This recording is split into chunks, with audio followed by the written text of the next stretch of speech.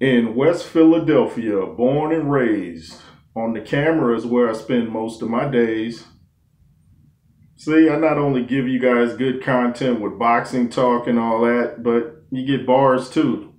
Just thought thought I'd throw that in for extra, you know. Why not? Yo, I just checked out the uh, Fresh Prince of Bel Air 30th year reunion, if you could believe that. Premiered 1990, was on the air for six seasons. Back then, six seasons meant six years. Nowadays, they could do six seasons in like two years. But uh, yeah, I still remember the first episode, and uh, Will Smith really knows how to put on. You know, he makes good movies, and I thought this um this reunion was well done. It started off showing the uh, the last episode of The Fresh Prince where he turns off the lights.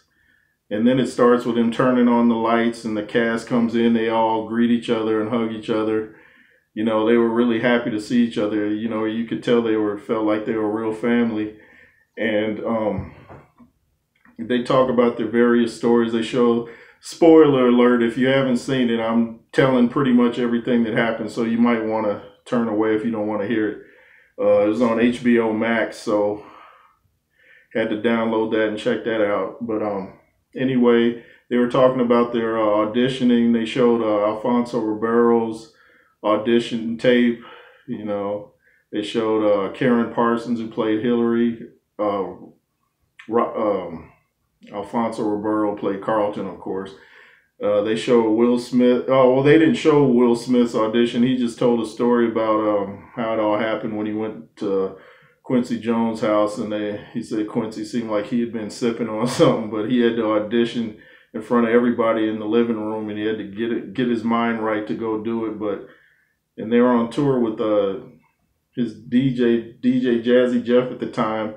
And then he tells Jazz, I guess, while they're on tour, guess what? We got a show. And he's like, We got a show? Wow.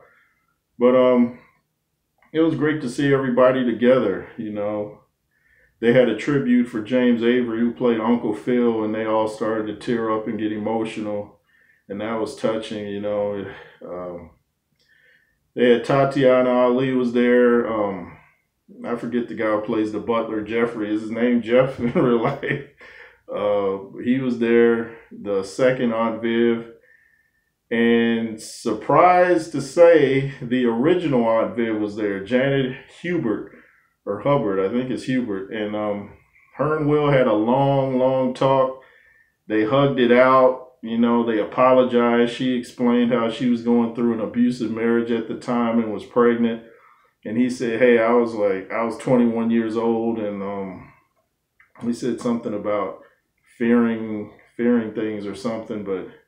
they made up and it, it, you could tell it was heartfelt there was no acting there i mean they embraced each other for a long time they were just hugging and getting it all out, and uh,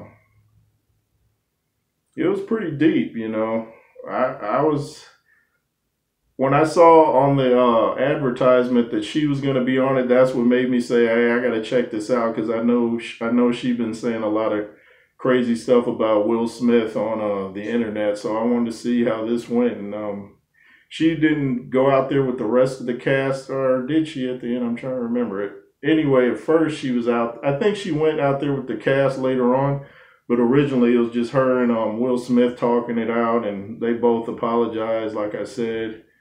And it was just, um, it was pretty cool. They were playing the theme to the show on the piano, and it was, uh, it was pretty um, emotional. And like I said, everybody got all teared up and choked up when they were watching the tribute to James Avery. Um, and they were talking about something funny. Will Smith was talking about how when he first started acting, he would memorize everybody's lines. And I even noticed it back then. While somebody was saying their lines, he'd be moving his mouth, saying it with them, so he'd know where to come in. And he said one day, uh, Karen Parsons, who played Hillary Banks, said, "Would you stop it?" like she was sick of him uh, moving his lips and stuff. And I remember Jimmie Walker used to do that on Good Times, who played JJ. he would move his lips while other people were talking. I'm like, wow, they memorized the whole lines. But Will said he really wanted to impress James Avery because he was a theatrical actor. I even saw James Avery play a judge back on the TV show Dallas, if you guys remember that, my favorite show of all time. But um, he said he really wanted to impress James Avery, so uh, like he got mad at something, and while they were filming some emotional scene about his dad not loving him or something, and he started to cry. You know, that was part of the the show, and uh, it was his first time feeling like he really showed that he could act. And he said when um, James Avery playing Uncle Phil hugged him, he whispered in he whispered in Will's ear, "Now that's acting." And so he knew he could uh, do this at that point. He knew he had just graduated to be a successful actor. And I was just after that, uh, the pursuit of happiness just happened to be on, and I thought, man, he should him and his son Jaden should have won all kind of awards for that. I mean, to me, that's Will Smith's best best movie. I'd say probably Hitch number two, but if you see his growth from the Fresh Prince to the Pursuit of Happiness, I mean, he should have got all kind of awards for that. I mean, that's it's hard not to get emotional watching that movie. Everybody did a great job in that movie. I mean, anytime I see it's on, I have to watch it, even though I got it on uh, DVD. But um, is there anything I'm forgetting about the uh, the reunion? Let's see. Jazz was there. And he was talking about how they uh, would throw him out. You know, I guess they filmed a lot of takes throwing him out of the house. And he said anytime it, it was a he was wearing a certain shirt, the audience would know oh, he's about to get thrown out. So I had never even noticed that every time he got thrown out, he's wearing a certain shirt. I was like, that's news to me. But uh, let's see. What uh, am I forgetting anything? Um, let's see. Oh, the uh, the little boy that came on later later on.